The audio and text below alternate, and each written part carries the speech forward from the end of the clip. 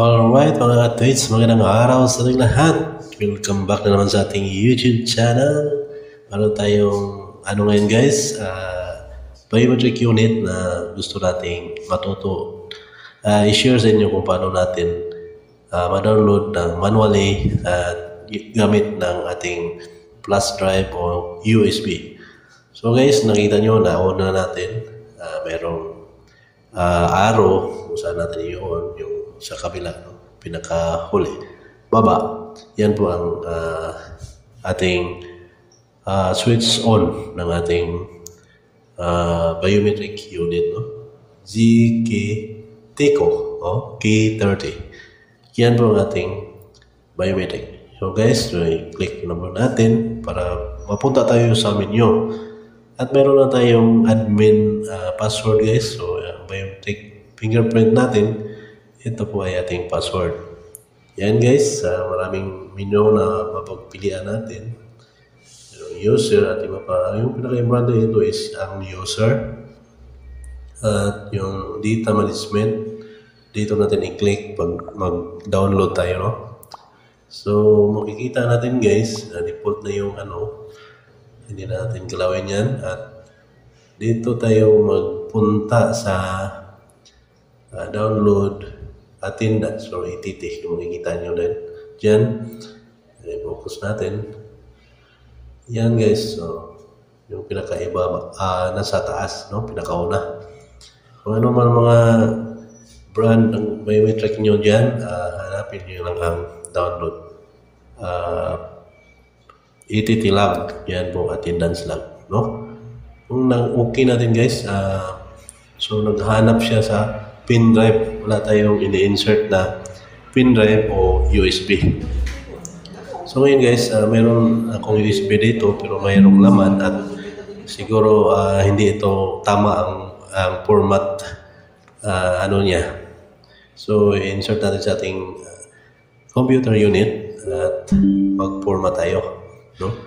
Kailangan talaga i-format natin guys kasi hindi mag-detect yun sa ating uh, ano, biometric kapag hindi natama sa kanyang ano. So, tingnan nyo guys, papertest natin, mayroon siyang laman. At hanapin natin kung anong naka-default na uh, format uh, option, no? format na anong klaseng format siya na format ng dati. No? Click natin yung format meron kayong mga laptop at uh, computer dyan, i-check nyo. Kung makikita nyo guys, uh, yung walang kwintang ano ito, mga files. So, meron na yung ano, format natin sa FAT32. Kasi NTFS, NTFS format siya. Kasi ginagamit natin pang bootable. So, automatic siyang NTF, NTFS format. So, ngayon, gawin nating FAT32. Yan guys, no? Simple lang po ito guys. At oh, tapos po siya.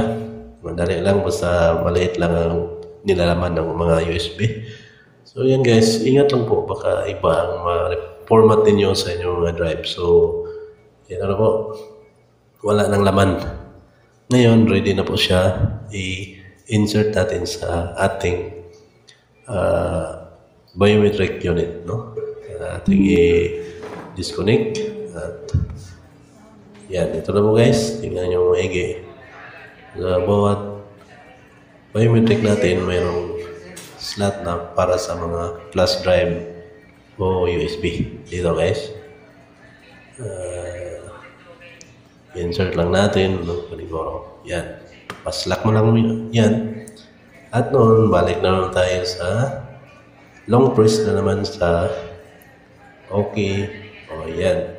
Password. Pag wala pang admin kayo dyan, automatic na siya. Wala nang, hindi na maghingi ng password. So, dito tayo sa, yan guys, mayroon tayong, ano, na-insert na natin. At, yan na po, nakaposisyon na po ang ating uh, highlight ng orange, no? So, ibig sabihin, uh, yan na po ang pinipili natin, yung download ititilag. So, waiting na po tayo, guys, pa i-joom lang natin. At ating i-click ng OK. Ayan na. Nandyan na siya. Yan. Success. Success na po. Mhm. So, ganyan lang po guys, kadali. Kasi hindi pa po marami ang files ng ating mga log. Yan lang po. Uh, balik tayo doon sa ano. At uh, subukan natin tignan sa ating uh, laptop or sa computer, no? Uh, yan, insert na natin, no? Hindi na lang natin ipakita sa, ano, pag-insert. Ito na po yung USB natin. I-open natin, guys. At gagamitan natin ng notepad, no? Yung right-click natin at open with open with notepad, no? Uh, pili lang tayo ng uh, application na gusto natin. Yan. Yan na po. Pwede na po sa Excel. At sa akin, dito lang ako nag-open sa notepad. No? So, yun po ang nilalaman niya guys sa ating uh, na-download na ititilag. Yan na po kasimple guys. Sundan lang po ang ating ginawang video na ibinahagi sa inyo kung kayo man ay nagproblema kung paano man nyo ma- makuha ang mga lag. Napakasimple lang po guys at uh, hindi pa hindi pa kayo nakapag-subscribe sa itong YouTube channel guys, uh, paki-subscribe na lang po. At sana po ay natutunan ninyong lahat.